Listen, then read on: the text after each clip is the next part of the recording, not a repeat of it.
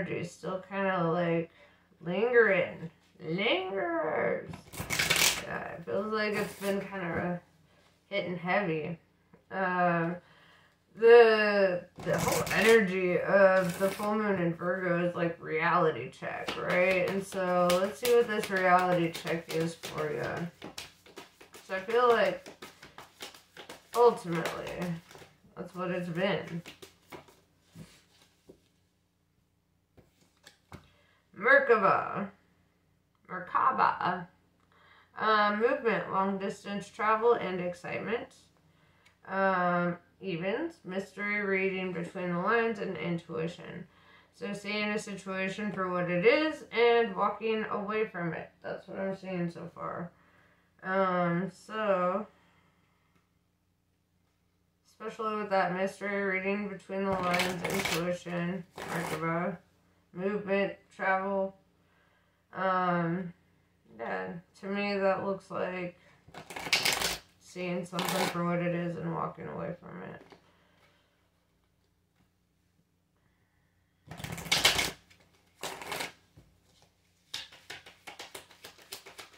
Let's clarify evens.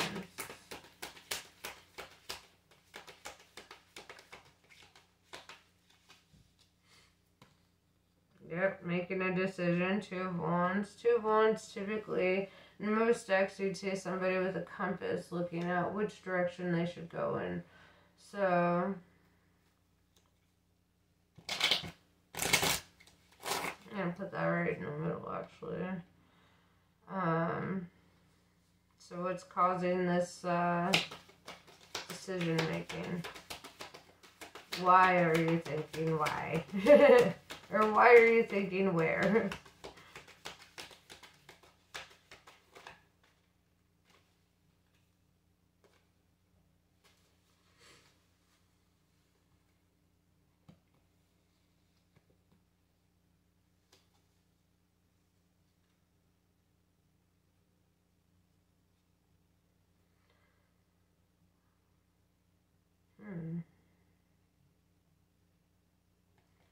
have Nine of Swords. With Nine of Pentacles. At a crossroads. Between sitting there feeling stuck, feeling stuck in your head, feeling like um, this lack of motivation, feeling like a wounded warrior, to this other side where you could feel more resourceful or adventurous, where you can feel established on your own, right? With the Page of Pentacles in reverse, it's telling me that there's something that you have to let go of, though, in order for that to happen. But with the Star card, Aquarius energy, is this energy of like being optimistic or seeing the light in the darkness, seeing seeing that this could take a better turn, right? And seeing that you're only one decision away from like from getting what you desire, right?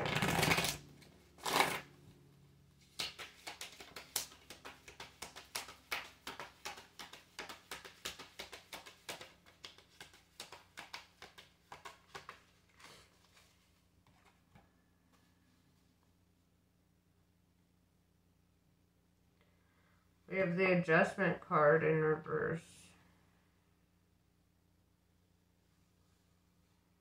Things won't change unless you change them. Right? So, like, if you don't make adjustments to your life, you'll feel stuck in the same spot. You know? Like, uh, trapped, stuck in neutral.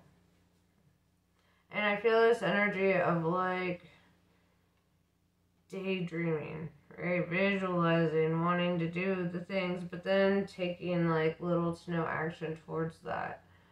Um, it's like wanting to do something, but then not taking action towards it, or like, or focusing on the blockages or the barriers that get in the way between what you want to do and what you should do. You know, it's like, it's almost like,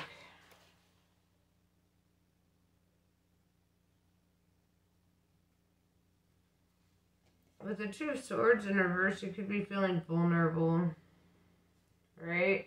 And sometimes making big leaps, especially if this is because with the Nine of Pentacles, if this is something like starting a new business or like, you know, something large like that, it feels like you could be feeling a little bit like, like once you take one big leap in that direction, then you're you like hesitate and you're like, oh fuck, like it's a sink or swim, you know. And I feel this energy of like feeling kind of vulnerable or like afraid, uh, but also with the star card, knowing that it's part of your destiny.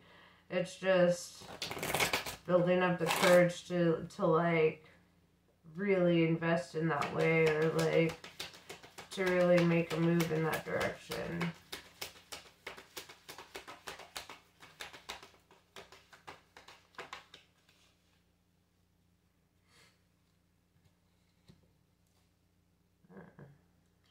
Page of Cups in reverse with the Three of Swords in reverse. So maybe that you could be having like a change of heart towards somebody.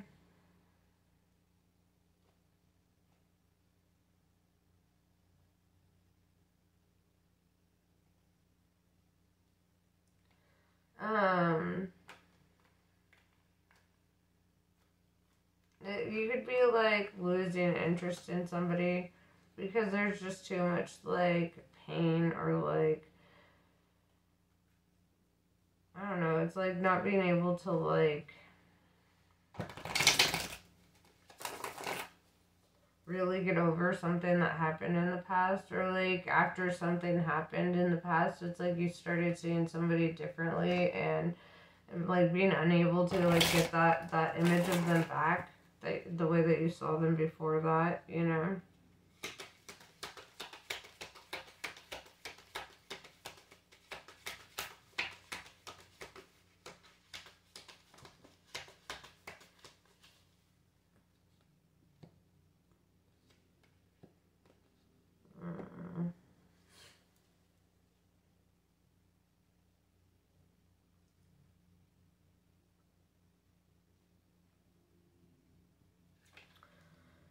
We have lust. Seven of Cups in reverse. It literally says debauch on this card, though, at the bottom. Which tells me, like, there could have been debauchery. There could have been, you know, some cheating or whatever. Uh, with the Queen of Cups, tells me that, like, you, you loved them, right? You invested in them. You felt like they were the one. That always the case. Um, with the Hermit in reverse, this is somebody who pulled you out of your shell. The Ace of Swords, like somebody that you felt you wanted a beginning with, somebody that that really inspired you to take action in certain ways, right? Also, could have inspired revenge, right? Doing the same thing in, in return. Um, yeah, Nine of Wands sideways, right? Um, and the way I'm reading the sideways here is like both y'all got hurt. Both y'all like kind of were at fault in your own ways, but like uh, it's kind of like saying it was a two-way road two-way street.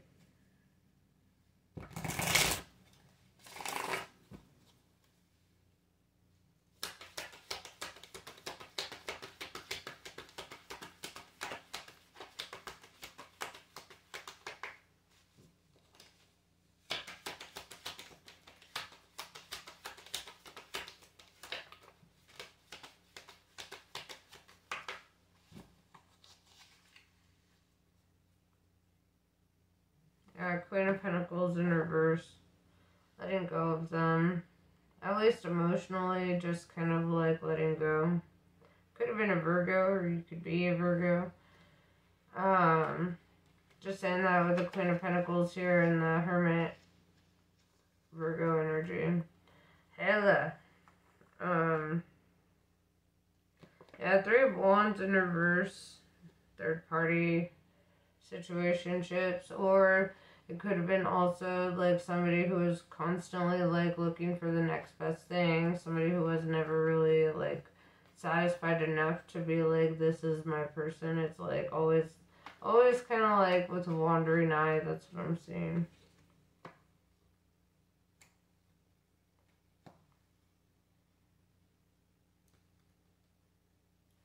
Yeah, the Empress in reverse with Six of Swords in reverse. Yeah, I'm feeling this energy that it like it took you out of your element something you discovered here with the Six of Swords, the Science card, right? Something was discovered here that caused you to walk away from it. Um, Six of Cups, this could have been somebody that, uh, could be somebody you have a kid with, or somebody that you've known since, like, childhood, or somebody that you have a lot of memories with, you know? whatever the case is, though, it's like there's an established history here, so walking away isn't easy. But I feel like when it's necessary, the door flings open for you. Alright? It's time to go, you know.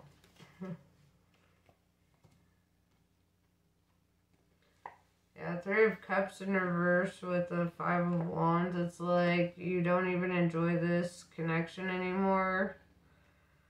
It's like there's it's not fun anymore. With the Five of Wands, it's like there's just conflict and fighting and and power struggles and just bullshit, right? It's like it's not even something that you can enjoy. It just feels like you're being punished every day.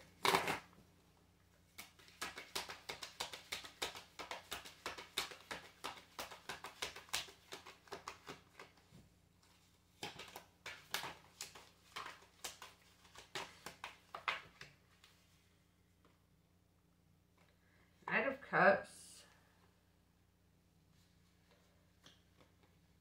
They could try to love bomb you, right, with the Eight of Pentacles in reverse, but it, it tells me that it doesn't work. Like, eventually you get to a point where you're so fed up that you're just like, dude, I'm fine without you. I literally don't need you. um, yeah, Two of Pentacles in reverse. Making up your mind. This is like being very solid in your decision when you make your decision. It's like having an unchanging opinion, you know, or an unchanging, um, having made an unchanging decision, right? Set in stone is what I'm hearing. Um, then the sun came out in reverse, but there's no reverse meaning for the sun card. So this is actually kind of beautiful. It's Leo energy. This tells me that inevitably things will be getting better for you. Even if divine intervention has to happen in order to remove this person from your life, it will bring a lot of happiness and joy into your life, a lot of abundance, resourcefulness. You're not going to you're not going to miss it like you might think you will. Um Ten of Swords. Person already has you feeling drained and defeated, and it's almost like when this person isn't there, it's going to make you feel free and liberated. You're going to feel like you can get shit done, like you won't feel limited anymore. Yeah, Seven of Swords. Because this person did all the lying, the cheating, the stealing the it's like this person really put you through the wringer here. And it's and it's just shady ass energy and it's like as soon as this person's gone that shady ass energy is like no longer there to torture you. Right? And I see 999 too. You have 9 of wands, 9 of swords, and 9 of pentacles. So Nines are all about mastery and coming to the end or the conclusion of a uh, cycle, right? You're about to enter into a new cycle. You're about to walk away from this one for good. If you haven't already, yeah. The Fool card. I love this. The Fool card is ground zero. Right? The Fool card represents the first step in a new cycle. The Fool card represents taking a leap of faith and doing the scary thing. Right? Because it's the scary thing you're going to benefit the most from. It's a scary thing that is going to really help you grow and and develop and and really give you that sense of feeling that um success fulfillment that oneness that liberation dude you're gonna be feeling so well without them that i I don't think you're gonna let them back in. I don't think it's gonna happen. I think you're gonna be done done.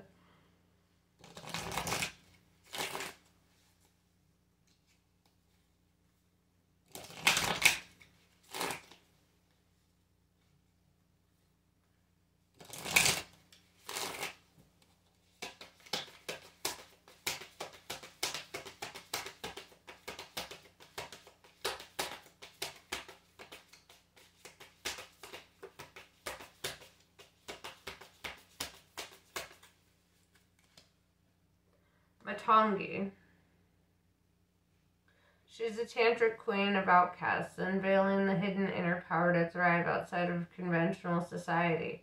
If you've been denied love and respect, she brings healing and empowerment. If you have suffered rejection, abandonment, or been labeled as unworthy in any way, she brings dignity and repair. She clears the way for a creative, joyful, and vibrant life path. Lalita Tripura Sundari. A chapter in your life is closing and will not be reopened. Told you. This will be reason for celebration. Whatever you need to release right now shall create the space for what is divinely destined for you to manifest through her grace. You shall enjoy a change of pace and release from intensity. Open your heart to the beginning of a golden era. And yes, this is what I have for you. I hope this was helpful. Namaste. I love you guys, and I'll catch you later.